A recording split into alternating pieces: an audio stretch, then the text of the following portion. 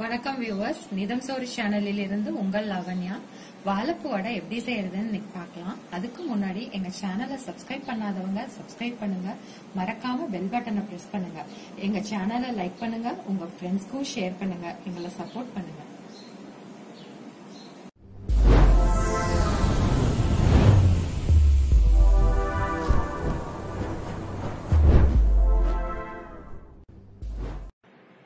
வாழைப்பூ வடை செய்யறதுக்கு ரெண்டு கப்பு கடலை பருப்பு அலசிட்டு மூணுல இருந்து நாலு மணி நேரம் ஊற வச்சுக்கோம்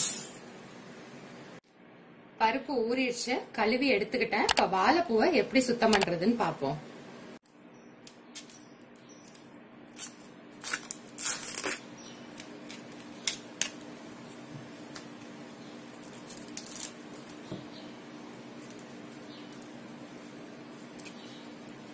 இப்ப இதுல பூல இந்த மாதிரி ஒரு தலை மொத்தமா ஒரு காம்பு இருக்கும். அந்த காம்பை போட்டா செரிக்காது. அதனால அதை ரிமூவ் பண்ணிடுவோம். அதே மாதிரி இந்த ஜவ்வு மாதிரி ஒன்னு இருக்கும். அதையும் சேர்த்து ரிமூவ் பண்ணிடுவோம். இன்னொன்னுல காமிக்கிற பாருங்க நானு.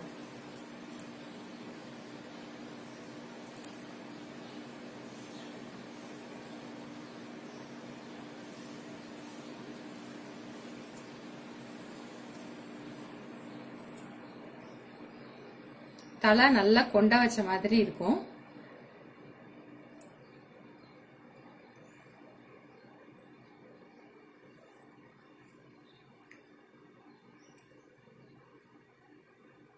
இது சின்ன பூவா இருக்கிறதுனால ரொம்ப சின்ன சின்னதா இருக்கு. இந்த பிளாஸ்டிக் ஷீட் மாதிரி ஒன்று இருக்கும். அதையும் எடுத்துருங்க.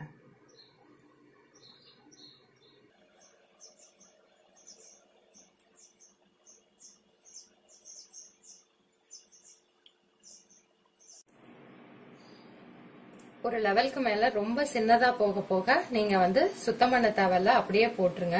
ரொம்ப சின்னதா போகும்போது உங்களால இதை ஓபன் பண்ணி எடுக்கவே முடியாது. இப்ப இது வந்து வைக்க வைக்க இந்த பாருங்க கலர் மாறுது. அதனால அரிசி கழுவுன தண்ணி எடுத்து வச்சிருக்கேன். அதுல கொஞ்சோண்டு தயிரை கலந்து அதுல போட்டு வச்சிட்டீங்க அப்படின்னா கருப்பாகிறத தடுக்கலாம்.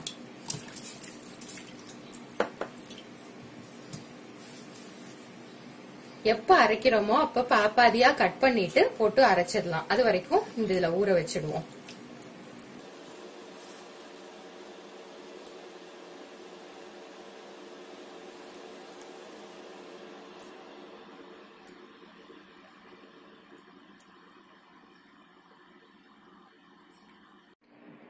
வாழைப்பூ எல்லாத்தையும் ஆஞ்சி எடுத்துக்கிட்டேன். இங்க பாருங்க கடைசியா சின்னதா வரும்போது அதை நான் அப்படியே கட் பண்ணி போட்டுட்டேன் இதுக்கு மேல சுத்தம் பண்றது ரொம்ப சிரமம். இப்ப வடைக்கு வாழைப்பூ கடலைப்பருப்பு எல்லாத்தையும் ஒன்னா போட்டு அரைச்சி எடுத்துக்குவோம்.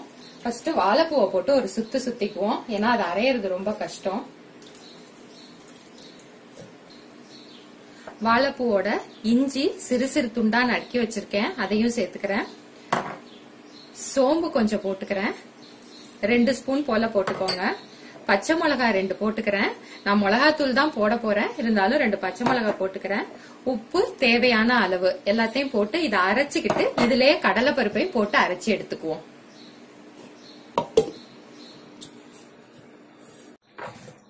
பாலப்பூவை நல்லா அரைச்சி எடுத்துக்கிட்டேன். அதுலயே கடலை பருப்பு நல்லா வடிகட்டி எடுத்துக்கோங்க. தண்ணி இல்லாம கடலப்பருப்பை போட்டு அரைச்சி எடுத்துக்கோங்க.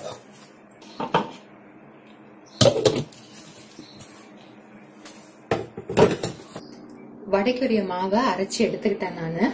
ஒரு பத்து பன்னெண்டு சின்ன வெங்காயம் எடுத்து அதை பொடி பொடியா நறுக்கிக்கோங்க. என்னோட வெங்காயம் கொஞ்சம் பெருசா இருக்கிறதுனால நான் ஒரு எட்டு வெங்காயம் எடுத்திருக்கேன். எண்ணெய் சட்டி அடுப்புல வச்சு கடலெண்ணெய் ஊத்திக்கிறேன் நானு.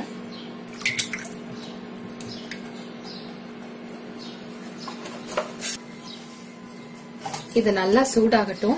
அதுக்குள்ள நம்ம வடைக்கு ரெடி பண்ணிட்டு வந்துடுவோம். இப்ப நான் வரிசையா ஒவ்வொரு ஜாமாவா ஆட் பண்றேன். மஞ்சத்தூள்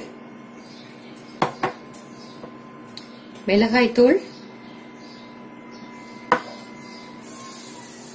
கரம் மசாலா. உங்களுக்கு தேவைன்னா போட்டுக்கோங்க இல்லாட்டினா ஆப்ஷனல் தான். பொடியா நறுக்குன கொத்தமல்லி பொடியா நறுக்குன வெங்காயம். உப்பு பார்த்து ஏற்கனவே சேர்த்திருக்கோம். அதனால தேவையான அளவு சேர்த்துக்கோங்க.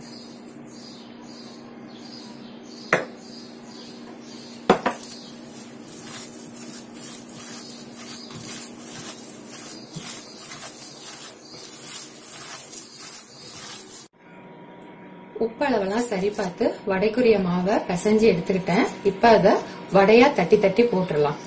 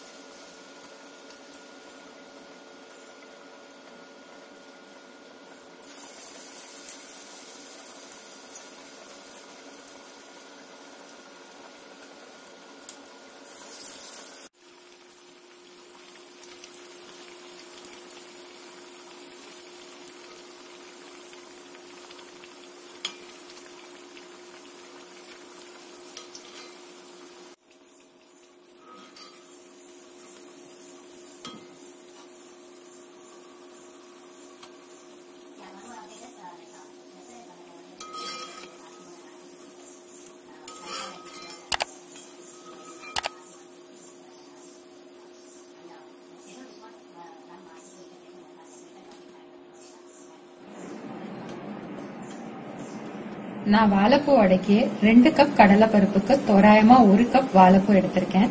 ரெண்டு கப் கடலை பருப்புக்கு ரெண்டு கப் வாழைப்பூ வரை சேர்க்கலாம். அதுக்கு மேல ஜாஸ்தியா போட்டீங்கன்னா வடை கொல கொலப்பாயிடும் வாழைப்பூ வடைய அப்படியே சாப்பிடலாம்.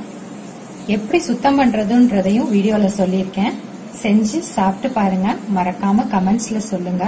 டவுட்ஸ் இருந்தாலும் கமெண்ட்ஸ்ல கேளுங்க. எங்க வீடியோஸ் உங்களுக்கு பிடிச்சிருந்தா உங்க ஃப்ரெண்ட்ஸ்க்கும் ஷேர் பண்ணுங்க.